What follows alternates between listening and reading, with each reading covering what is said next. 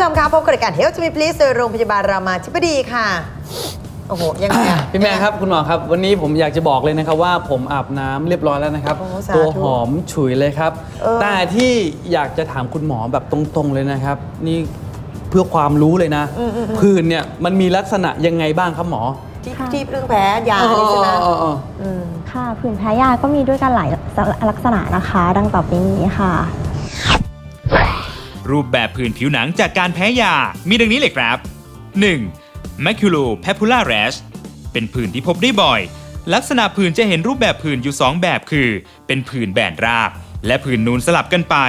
มักมีขนาดใหญ่กว่า1เซนติเมตรขอบเขตไม่ชัดเจน และมีอาการคันร่วมด้วย โดยผื่นชนิดนี้สามารถขึ้นได้ทั่วตัว และพบได้หลังจากได้รับยาประมาณ 2-10 วันแรกครับ 2. Urticaria and angioedema ผื่นแพ้ยาที่มักจะรู้จักกันในชื่อของผื่นลมพิษ ลักษณะผื่นเป็นขอบนูนแดง มีขอบเขตไม่ชัดเจน พบตามลำตัว แขน ขา มักพบอาการคันร่วมด้วย ในระยะนี้ผื่นจะมีขนาดเล็ก แล้วจะค่อยๆ ขยายออก มีขอบยกนูนที่ชัดเจน ตรงกลางผื่นจะมีสีซีดจาง มักมีรูปร่างไม่แน่นอนผื่นแพ้ยาลักษณะนี้สามารถเกิดอาการหลังจากได้รับยาประมาณ 5 นาทีถึง 1 ชั่วโมง ซึ่งผื่นชนิดนี้จะเกิดตำแหน่งเดิมทุกครั้ง เมื่อผู้ป่วยได้รับยาตัวที่แพ้เข้าไปครับ 3. Fig Drug Eruption ผื่นแพ้ลักษณะราบเป็นวงคล้ายรูปไข่ ขอบชัดเจน สีแดงคล้ำ หรือบางครั้งมักจะพบสีเทาเงิน ซึ่งต่อมาสีจะคล้ำขึ้นแล้วค่อยๆ จางไป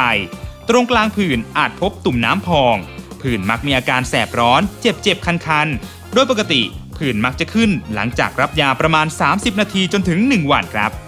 4. Erythema multiforme